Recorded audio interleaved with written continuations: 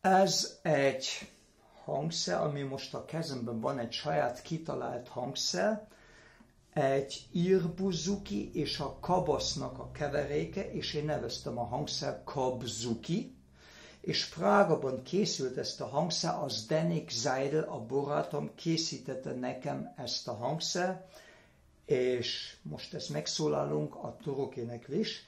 Dieses Instrument ist ein Mischinstrument der Kobos und die irische Buzuki oder man kann dazu auch sagen Zittern oder Mandoloncello. Das Instrument hat mir mein Freund in Prag gebaut, der heißt Zdenek Seidel.